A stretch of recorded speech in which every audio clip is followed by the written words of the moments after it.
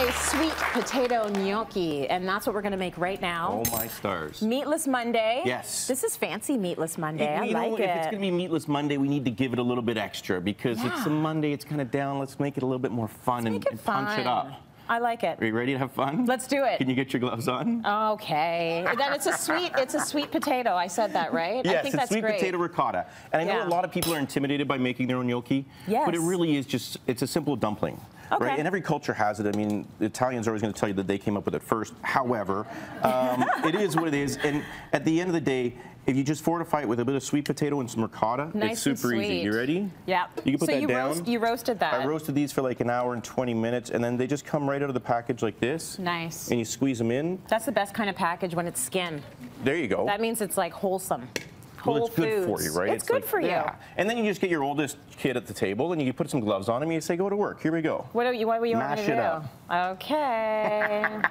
I like that you it's brought. I like right? that you brought me gloves I at least this time because the food just gets right into my nails. I know, and the manicure is I, done I can't for the do week. it. Yeah, I See, can't I'm do any of the other you. segments. So we got a, a little bit of ricotta cheese there. Okay. And an egg. This the actually egg's gonna feels hold everything good. together. It's like therapy, right? Okay. It's Yeah, like it. It This is feeling really awesome. I feel great watching you do it. do you? It's relaxing.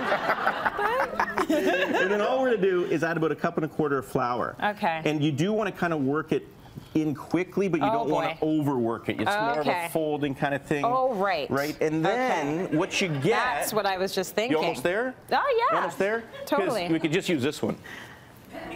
I'm just saying. Thanks, Randy. JC, Thanks. sorry. Thanks a lot. This is what it was the idea of showing them how simple it really is. So after about two or three minutes of working This it, you will come look out with like the dough. that. It'll look just like this, and then you'll see it's still a little moist inside. Did Right, you put that in there. the fridge when you were done I making it? I did 20 minutes, right? Okay. And then we're just gonna pat it down, and here's the, like the ultimate. You just one, two, three, like this, right? And it look doesn't at- matter if they're all sort of a little bit shaped I would differently, rather, right? I'd have them that they aren't because you know what? If they're too perfect, people will call you out for like buying it at the store. yeah, that's true. Right? So then Make you just kind of give them a little cut like this, and the kids can get involved with this, right? Yeah, It should have a little bit of stickiness to it, but it's not really a huge deal. Okay. Into the pot they go. Yeah. In three minutes, they should come up to a boil, right? Okay. And there you go. We are basically done our gnocchi. That wasn't so hard, was it? That was not so hard. But we want to take this gnocchi to the next level. Okay, what are we gonna do? We're going to add a little bit of butter. Uh huh. A, little, bit, of olive oil. You follow me now? I'm Because I am a fan of the gnocchi, but I'm a bigger fan of like the crispy gnocchi. So if this is Meatless Monday, we can't rely on bacon and prosciutto and things like that. So we really have to play with textures. Yeah, give it a little bit of So, crunch. so you see these pillowy, soft little golden nuggets coming out of here like that? Yeah. And then you're just gonna like put them in this olive oil and butter, give a little shake.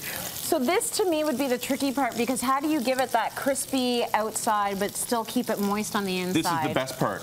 Okay. We do nothing. We do nothing? We just kind of stand here. It doesn't make very good. TV, but it's like, all right, it. you know, just watch it. And that's what And happens. like a little salt, right? And a touch Okay. of pepper. And then, you know, you just, you watch it some more. Okay. In the meantime, or Yeah. what we should have been doing ahead of time, but that's okay. We're gonna get some cherry tomatoes. Yeah. Right? Because we need to, we need to bang in some flavor. And we're gonna roast the. Are we gonna roast them? We're gonna kind of confit them in the oven. But check this out. When you have a lot to do, I don't want you to sit there all day and just do one at a time. that. You know? what are you, are you nervous? Well, no, I just. I thought you were gonna squeeze them. I didn't want No, tomato at juice on my outfit. So I just like, you know. Okay.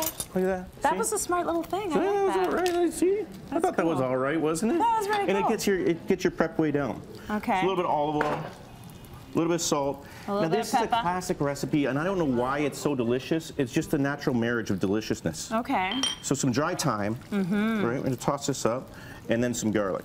Okay. All right. That looks good.